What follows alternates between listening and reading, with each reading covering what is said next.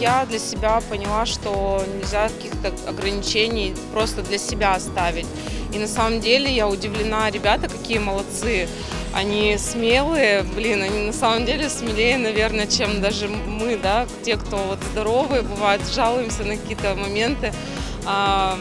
Они удивительные, нам, может быть, даже у них стоит чему-то учиться. Такие замечательные, э, жизнерадостные люди почувствовали себя сегодня звездой. Я, смотрела, стояла как фотограф, эти вспышки камер. Они, ну, это было прям очень трогательно и мне понравилось.